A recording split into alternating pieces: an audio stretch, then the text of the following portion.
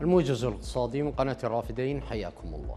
قالت وزارة المالية إن ملف سلم الرواتب ليس مسؤولية الوزارة حصرا فيما أشارت إلى أنها تنتظر جداول العاملين ضمن الدرجات الوظيفية الثامنة والتاسعة والعاشرة لزيادة التخصيصات. وأضافت الوزارة أن لجنة الأمر الديواني الخاصة بسلم رواتب الموظفين تضم عددا من الجهات التنفيذية والتشريعية والرقابية ومن كافة مؤسسات الدولة ذات الشأن.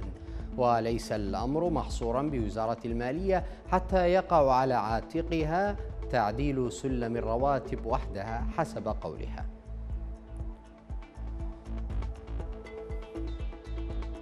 أكد أصحاب المحال التجارية في منطقة الشورجة ببغداد أن السوق التجارية الأكبر في العراق تواجه ركودا اقتصاديا غير مسبوق بسبب تدهور قسمة الدينار أمام الدولار.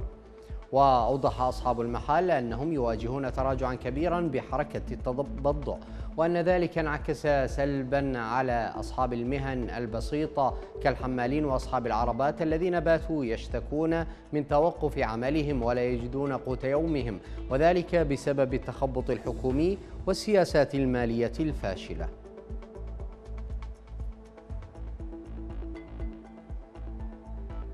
ارتفعت أسعار خامي البصرة الثقيل والمتوسط مع ارتفاع أسعار النفط العالمية وارتفعت أسعار خام البصرة الثقيل عشرة سنتات ليصل إلى 77 دولارا و60 سنتا للبرميل كما ارتفعت أسعار خام البصرة المتوسط عشرة سنتات أيضا ليصل إلى 80 دولارا و65 سنتا للبرميل. وارتفعت أسعار النفط العالمية بعد أن عطلت عاصفة منطقة البحر الأسود صادرات كازاخستان وروسيا من الخام ما أثار مخاوف من نقص الإمدادات بينما يترقب المستثمرون قرارا حاسما من تحالف أوبك بلس حول كمية الإنتاج والتصدير.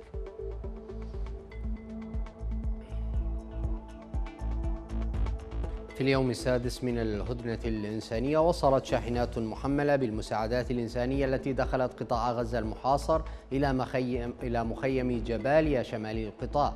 وقال مدير الإعلام بالجانب الفلسطيني من معبر رفع الحدودي مع مصر والأبو محسن إن 200 شاحنة مساعدات إنسانية دخلت قطاع غزة خلال الهدنة المؤقتة مضيفا أن المساعدات تضمنت أربع شاحنات وقود تحوي 100 وتحوي 150 ألف لتر من السولار بالإضافة إلى شاحنات مياه ومواد غذائية وأدوية. ومن المقرر استمرار دخول مساعدات إنسانية أخرى خلال الساعات القادمة.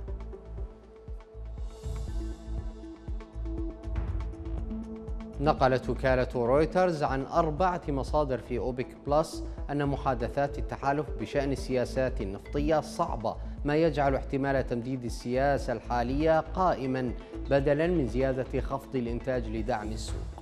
ومن المقرر أن يعقد تحالف أوبك بلس اجتماعا عبر الإنترنت الخميس المقبل لتحديد مستويات إنتاج النفط عام 2024 وفقا لمسودة جدول الأعمال التي اطلعت عليها رويترز أمس الاثنين وكان من المقرر عقد الاجتماع في البداية الأحد الماضي قبل تأجيله بسبب خلاف بشأن مستويات إنتاج الدول الأفريقية.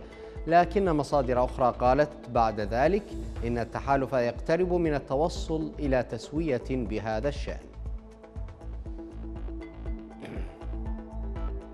والآن إلى أسعار العملات الأجنبية مقابل الدينار العراقي وإلى أسعار المعادن